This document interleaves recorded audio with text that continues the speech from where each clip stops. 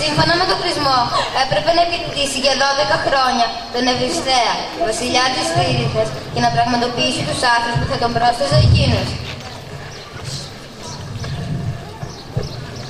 Στο πλαίσιο των άθλων, ο Ηρακλής σκότωσε τον λιοντάρι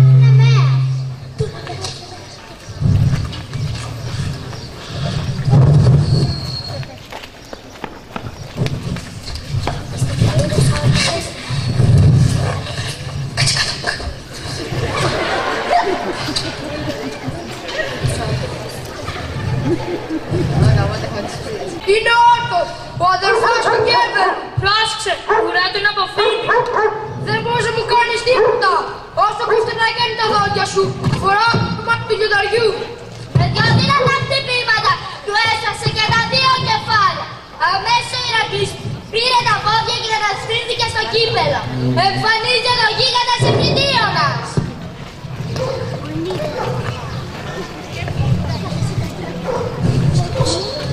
Τι έκανες, σκότωσες τον όρθο, το φύλακά μου. Ας το μάζευες Ευρυτίωνα! Ε, όχι, πας να τα βάλεις και μαζί μου. Μάλιστα, τα μήλα των ασπερίδων! Τρία! Τι τρία! Μήλα, νόητη και βγάλω από εδώ μέσα. Εντάξει, θα του το πω. Τα μήλα των ασπερίδων!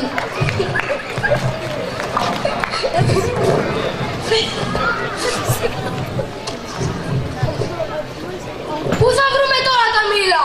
Άρχισε να ρωτάει εδώ και εκεί.